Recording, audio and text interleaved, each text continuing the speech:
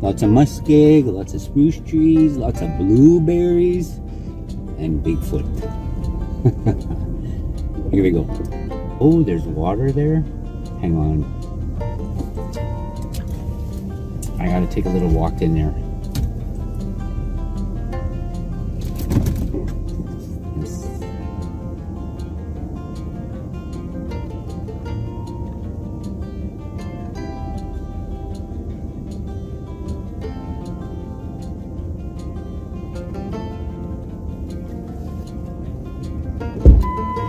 That forest, the trees that you see straight ahead, that is the Bigfoot Blueberry Patch. A little ways away from it, so um, I'm gonna put this in four, just in case.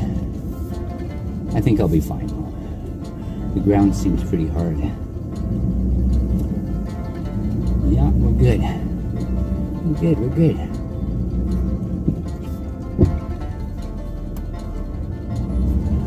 Eyes wide open and your ears open, earbuds in if you have them.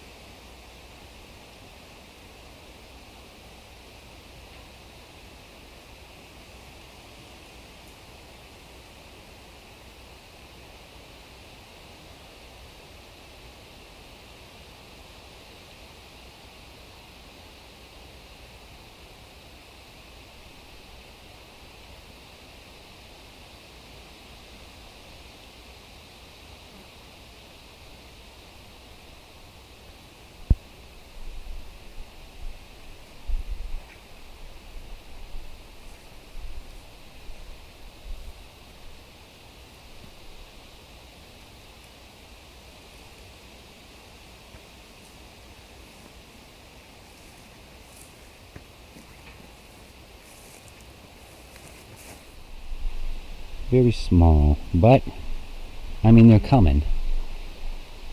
I think only about half of them are already, but it's the blueberry patch, everybody.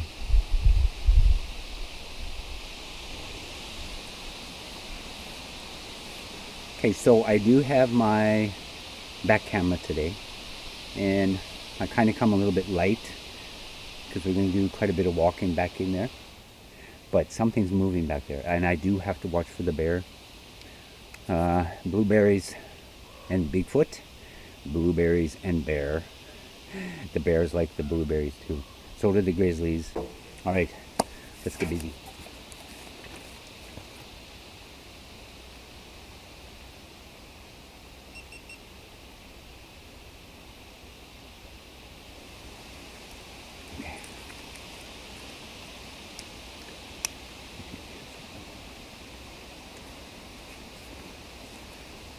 we got a bit of a breeze happening here. I got my windsock on the camera. I'm using my external mic again, my Boya mic.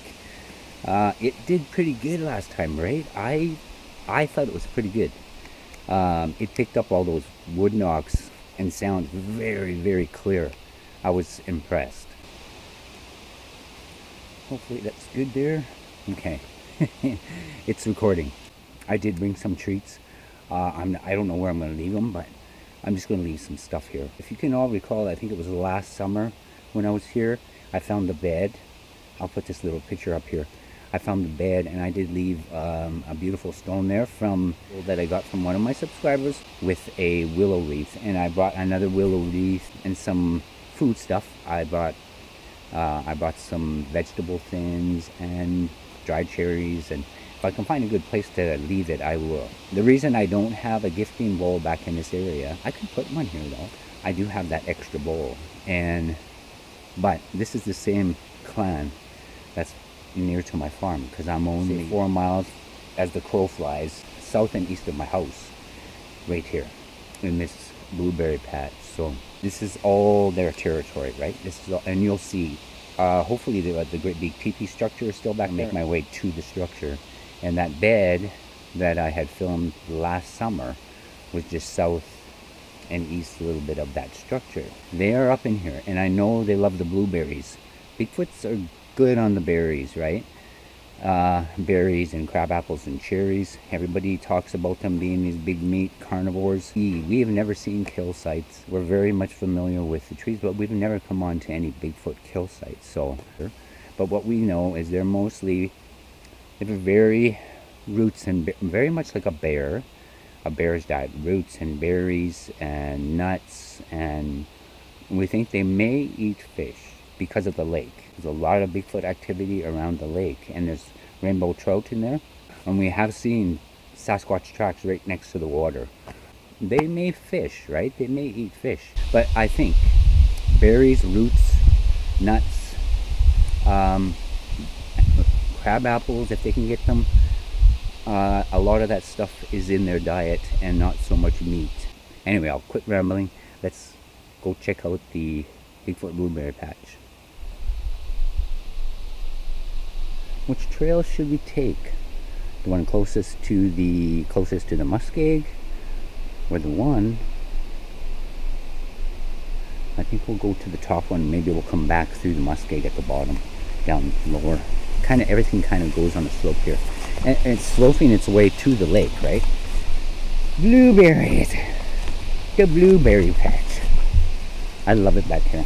It's, there's so much Bigfoot sign in here and I really believe this is one of their places where they just come and it's the beds right?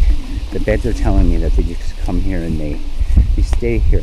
And this is a place where they uh, come often. And I don't know if there's any here. Like I say this is about four miles south and east as the crow flies. Five if you're driving. Uh, and maybe, maybe somewhere here, or one is here. You know, I sometimes think, you know, where their structures are, where they have their structures. And things like that. It's almost like there's always one to monitor those. They're very important. I think they're very important to them. And it's almost like you get one. Okay, I'm going to show you something here. And there's a lot of these. Do you see that? There's always like three pieces, or three poles, three three trees. It forms this little triangle, right? And I will, I'm to keep walking here because I can imagine I'll come on to more. And it's usually right along the, on the trail, right? On the trail.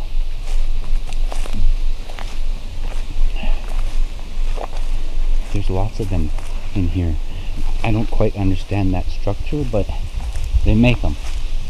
And here we go. What? It's a little bit bigger one. All along the trails.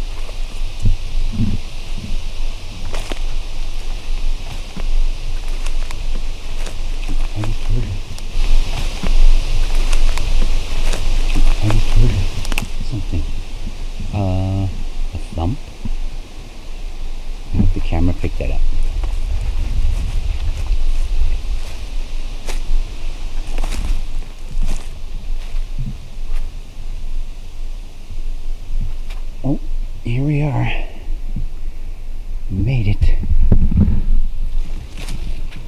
Keep my ears open too for bears.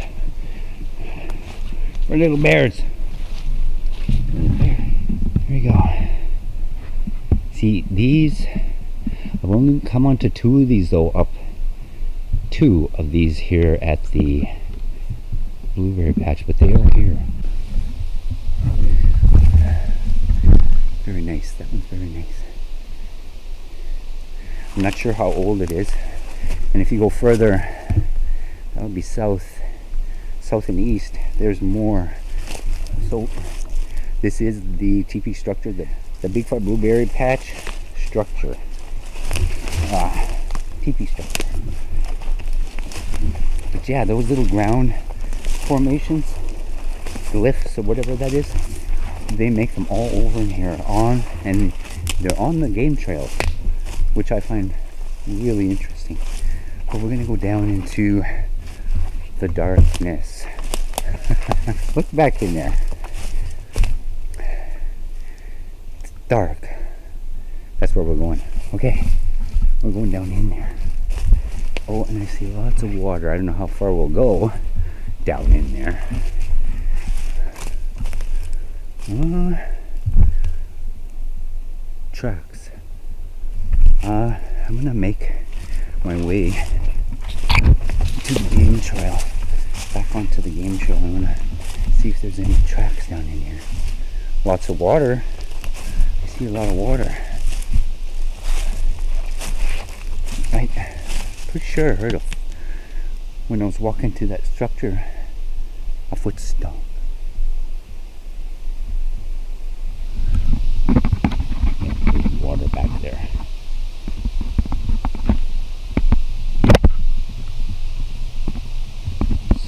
Game trail there. Hey, look at that.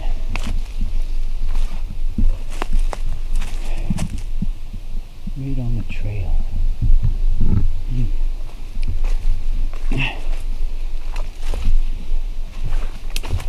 That water.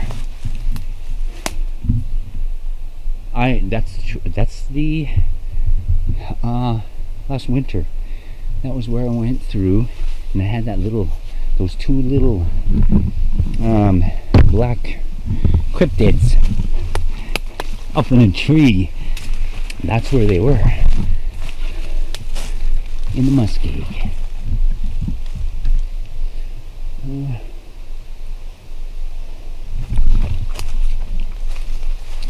any footprints because I'd have I did get one uh, last summer in that muskeg.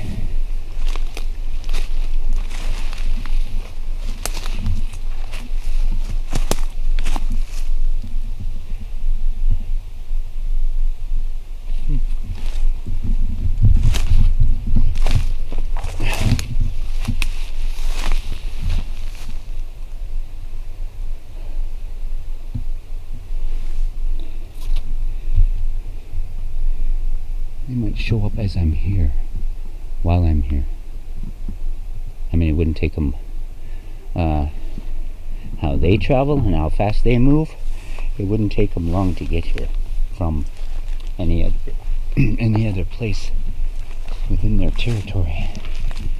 Okay, there's a trail, a game trail, screen center, and I'm on it, and it goes right into that muskeg. I wanted to see if there's any any tracks. Any oh I didn't realize I was standing in water. Hello?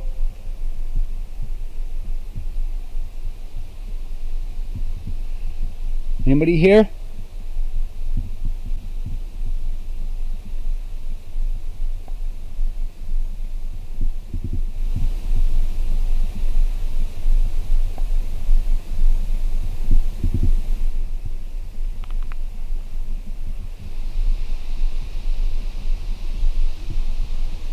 Sure in water. I didn't think there'd be that much water back here, but there's a lot of water in this muskeg. Cold, cold, nice cold water. If you dig down Like this is what always one of the survival uh, teachings from my elders, our ancestors, the Cree people. muskegs. If you can't find water and you see a muskeg, go there and just dig under all the moss. You'll have a good foot, two feet of moss, but all of a sudden you'll hit ice, clean, clear water. And so good. Good water. But yeah, I would have. I'm on a trail here now. Um,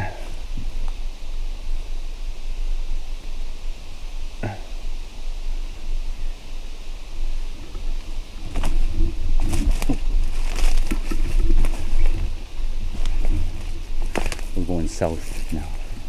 So I can't go any further that way because of the water. So we'll head south. I want to try to come up onto that, onto that, um, see if that bed is still there.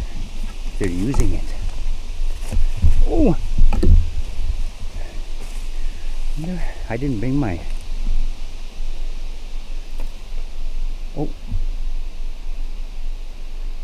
No. Oh. Knock. Okay, that was good. Okay, um, that's where I'm going.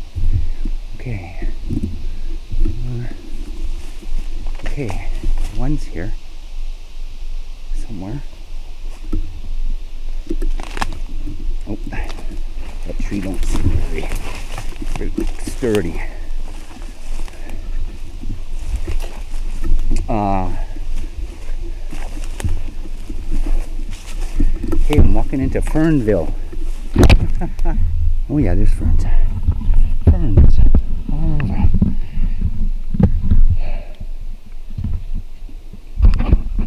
Okay, I heard, we heard a wood knock. And we got ferns back here.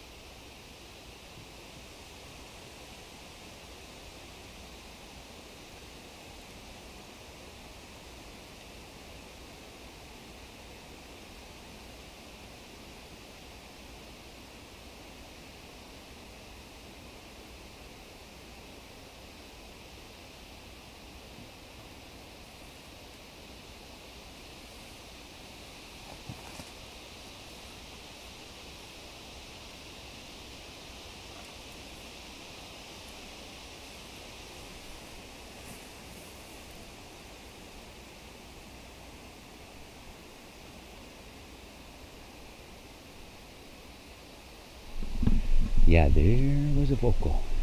Back way, way back there. I'm positive, I'm sure of it.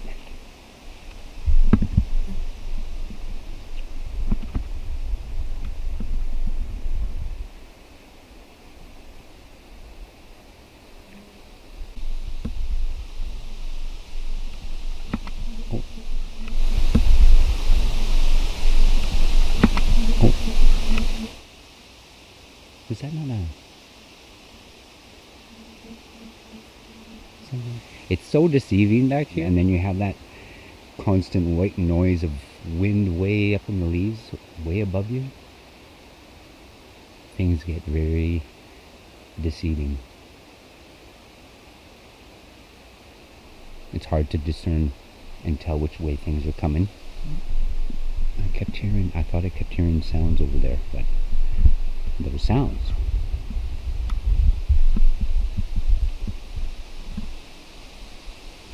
Hmm. Oh, wait a second.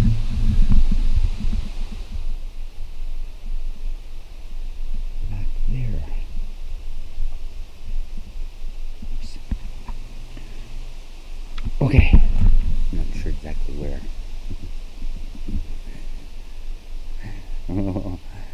I, better take that out case I forget.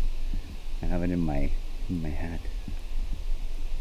These are actually very, very good to eat. Like in the springtime when they're first starting, they call them fiddleheads. Very good.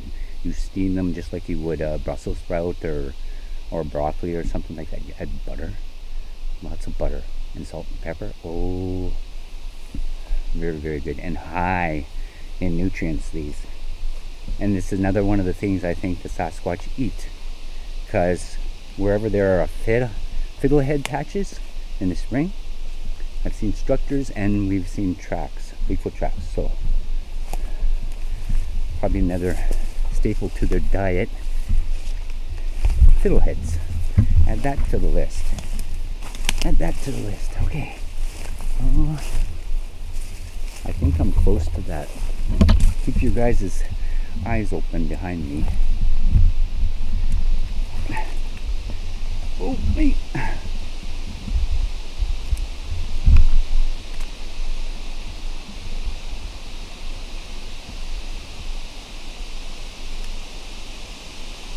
Anyway, I think I quit.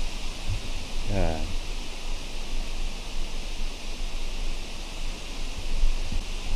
this is a very nice place. It would be beautiful to have a cabin. Is that not a vocal? This is a very nice place. It would be beautiful to have a cabin. Is that not a vocal? While I was talking, always.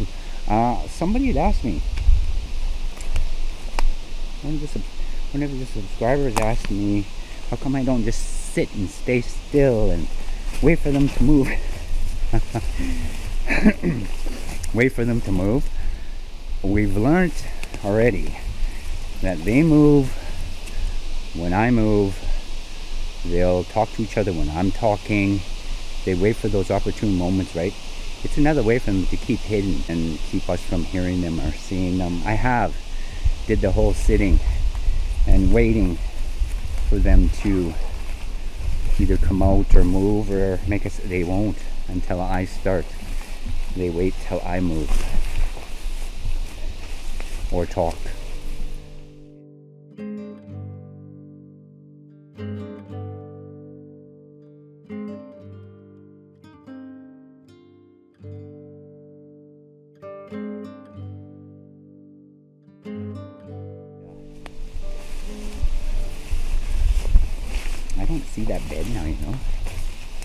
not here. I think I'm too far south here. Still.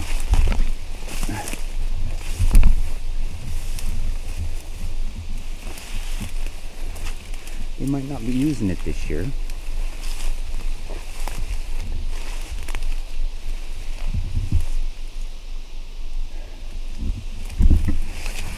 It's here but it's not used.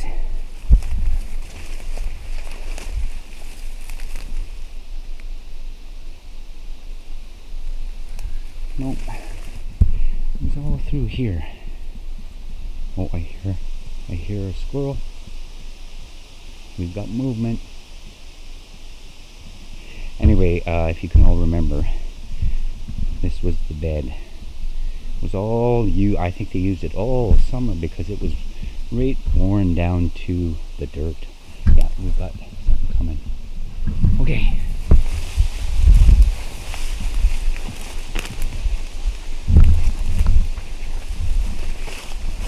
Oh. I'm going towards the where the movement is.